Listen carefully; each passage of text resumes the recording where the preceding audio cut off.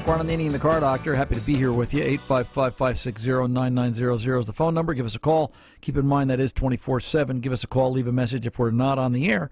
And Fast Harry, our executive producer, will call you back and get you in the lineup for the following week. And we can talk to you about your car problem and fix it for you. Because that's what this radio show is about. Speaking of Fast Harry, is Harry out there somewhere? Harry. I'm right here. Hey, bro. Um, it's uh, time for the Facebook T-shirt winner of the hour this week.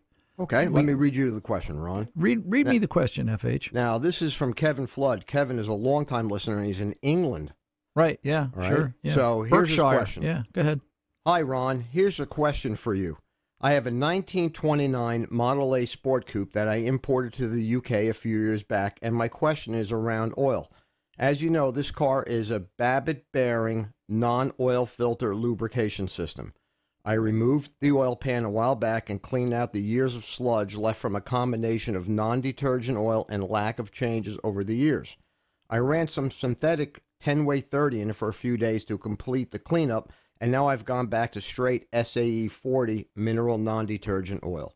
Would it be wise to stay with the 40 weight mineral, or do you think, say, a 10 weight 30 synthetic would at least would at least do do No. no, harm and perhaps the benefit of the long term? That was a little typo there in his uh, Facebook post.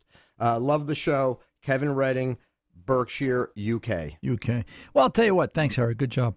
Uh, you know, it, it's funny. A friend of mine has a has a Model A, and we we talk about this all the time. And uh, you know, Hick tells me that, and during the course of the conversation, he too was concerned about oil and you know how much to put in and, and, and what weight and what viscosity and we had the whole Pennzoil conversation and I made him get out the Pennzoil Synthetics pennzoilsynthetics.com and read all about their synthetics and how their synthetics do help clean because they th- that is a plus.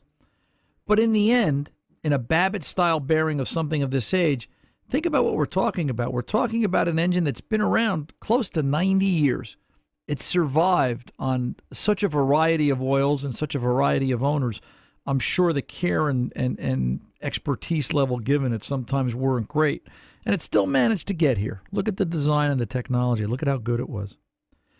Uh, my concern with going to a multivisc in something like this, Kevin, and, and what I said to Mike, um, my friend with the A, is that it's a Babbitt style. And you, you worry about viscosity, you worry about um, putting something in there too thin, you know, trying to add technology to where a place where technology may not do any good.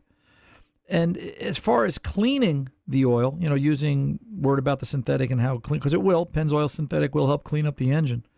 Uh, you know, the fact is, you're going to change the oil so often now because you're trying to take care of it, you're going to baby it, that I don't know that, you know, sludge is going to become an issue. So if it were me, I would probably stay with the SAE 40 mineral non detergent oil. And if you wanted to run a little synthetic through it once in a while to help clean up whatever sludge might be forming or whatever sludge you might think come out, that's good too.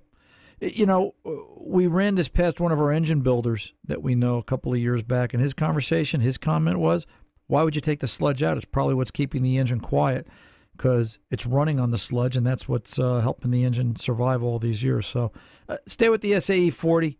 Use the synthetic if you want as a cleaner on an occasional basis. You can read all about Pennzoil Synthetics at pennzoilsynthetics.com and draw your own conclusions. But Hickey's still running his heavyweight one viscosity oil, and uh, he's doing it the same way where he runs a Pennzoil synthetic through it on an occasional basis, and that seems to do the job for him.